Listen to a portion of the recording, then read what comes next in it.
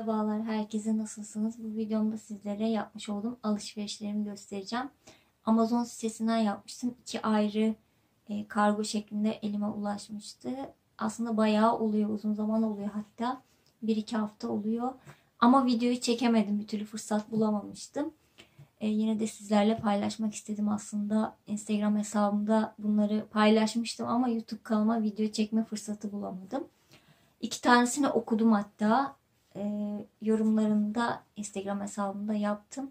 Ama bunların yorumlarını detaylı şu an yapmayacağım ama e, daha sonra başka bir videoda detaylı yorumları yine yapmayı planlıyorum. İlk kitabım 7 Boş Ev. Bu kitabı almıştım. İçerisinde öyküler yer alıyor.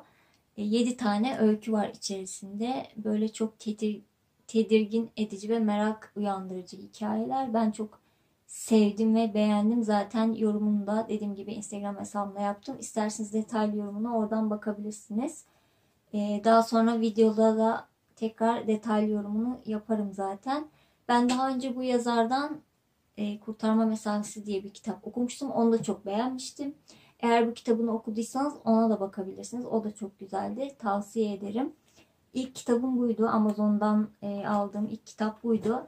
Diğer kitabım da bir Japon e, edebiyatına ait olan Mor Etekli Kadın'dı. Mor Etekli Kadın'ı ben aslında geçen seneden beri çok merak ediyordum ama hani alsam mı almasam mı diye birazcık böyle hani kararsız kalmıştım. Okuyan kişilerde çok böyle e, tavsiye etmemişlerdi açıkçası. Hani e, okunabilir evet ama hani çok etkileyici bulmadıklarını söylemişlerdi ama ben kitabı çok beğendim. E, oku, okuyup çok beğendim.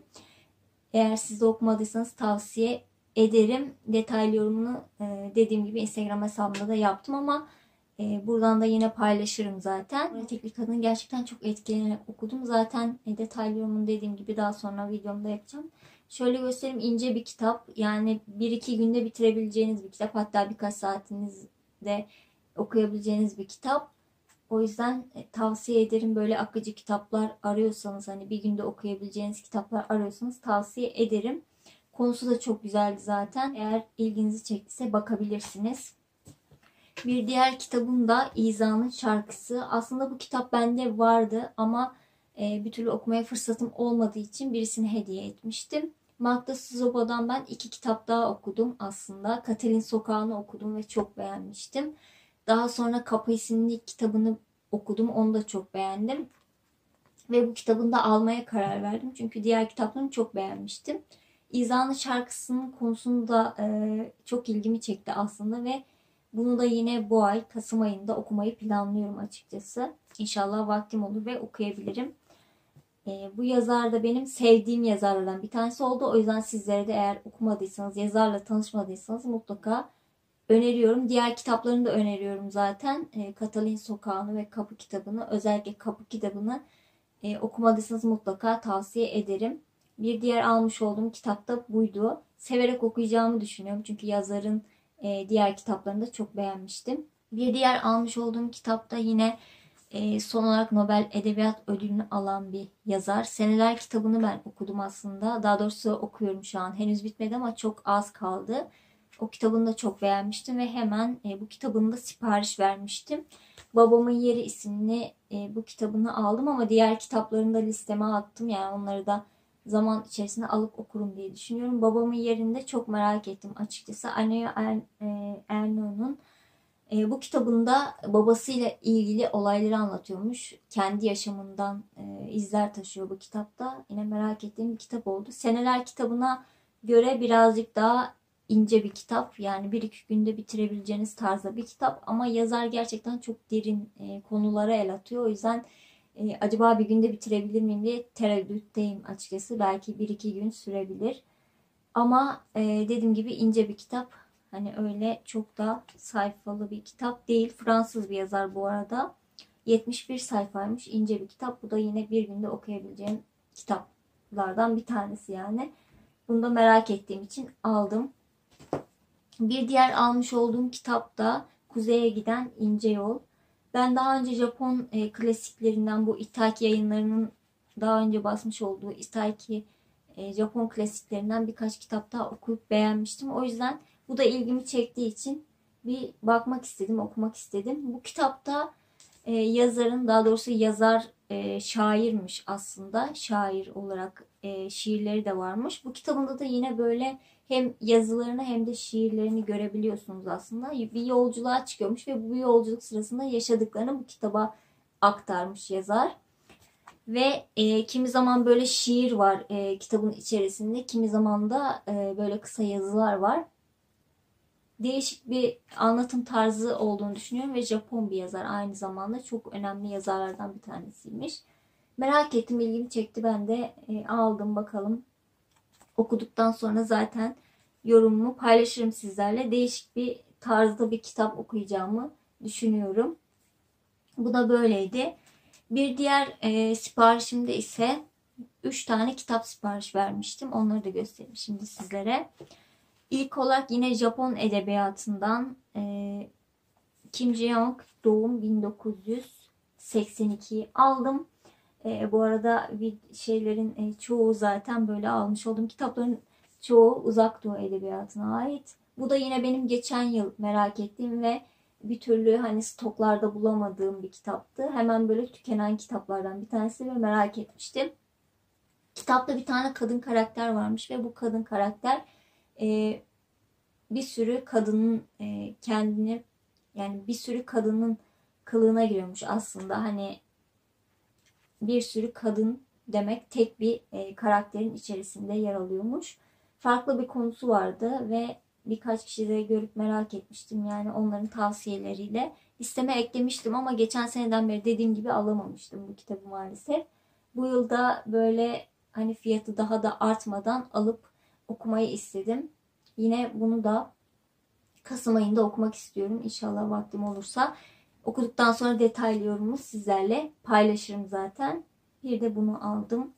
Bir diğer almış olduğum kitap da yine Japon edebiyatından. Öğrenci Kız. Hatta bunu okuyorum şu anda. Osamu Dazai'nin bir kitabı. Ben daha önce Osamu Dazai'den Batan Güneş ve e, İnsanlığımı Yitirirken diye kitaplarını okumuştum. Hatta bir kitap daha okumuştum. O da Eltaki'nin Japon klasiklerinden bastığı yeni kitaplardandı. Onu da, onunla beraber bu dördüncü kitabım olacak. Osamu Dazai'den okuduğum. Demek ki sevdiğim bir yazar. Yani üç kitabını okuduğuma göre bu dördüncü kitabı sevdiğim bir yazar. E, bu kitapta da öğrenci bir genç kız var ve onun 12 saatlik e, olayları anlatıyor içerisinde barındırıyor yani 12 saat boyunca neler yaşıyor işte evinden okuluna giderken neler yaşıyor bunlarla ilgili kısacık bir kitap e, 12 saatini anlatıyormuş dediğim gibi yine e, Osamu Dazai birazcık böyle melankoli tarzında yazıyor belki okuduysanız biliyorsunuzdur ama e, ben anlatım dilini seviyorum yazarın, beğeniyorum yani. Hatta birkaç kitabını daha listeme ekledim. Onları da kısa zamanda okumak istiyorum. Eğer fırsatım olursa onları da al, almayı planlıyorum yani. Sevdiğim bir yazar. O yüzden bunu da merak ettiğim için aldım. Yine böyle ince, hani bir günde okuyabileceğiniz kitaplar arıyorsanız öğrenci kıza bir bakabilirsiniz. Ben başladım okuyorum şu anda. Sanırım 25. sayfasında falanım ama e, beğendim yani anlatımı yine güzel. Beğendiğim için öneriyorum. Detaylı yorumunu bittikten sonra e, yapacağım. Son olarak e, böyle Amazon sitesinde görüp merak ettiğim bir kitaptı. Bunu tek olarak aldım. En son bunu aldım. Çiftlik kitabı. Bu aslında e, yazarı televizyoncuymuş. Yani e, televizyonda ya da gazeteciymiş. Bildiğim kadarıyla gazeteci ya da televizyoncuymuş. Yani bu e, ekranlarda olan bir insanmış kendisi ama sonradan yazar olarak birkaç kitap yazmış. Bu da yine 7 yayınlarından çıkıyor. Daha önce hiç e, 7 yayınlarından daha önce hiç kitap okumamıştım. Aslında benim için de ilk olacak. Yanlış hatırlamıyorsam okumamıştım. Bu da yine böyle gerilim tarzında bir kitapmış. Çiftlik ismi ve kapağı açıkçası beni cezbetti. Yani hiç kimse de görmedim aslında bu kitabı. Daha yeni e, basılan kitaplardan aslında. Gör görmez böyle merak ettiğim için aldım. E, böyle çok uygun bir fiyatı da yoktu açıkçası. Hani daha sonra belki yükselir mi fiyatı bilemiyorum ama e, çok yüksek e, bir fiyatı yoktu. Hani böyle çok ortalama bir fiyattaydı. 30 lira falandı galiba.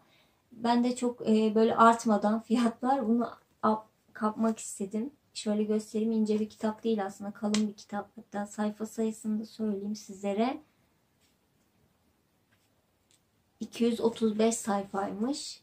Şöyle kapak tasarımı çok ilgimi çekti açıkçası. Bana böyle miras kitabını anımsattı. E, Siren yayınlarından çıkan Miras diye bir kitap okumuştum ve çok beğenmiştim. Onu anımsa- anımsattı açıkçası kapak tasarımı. E, merak ettim.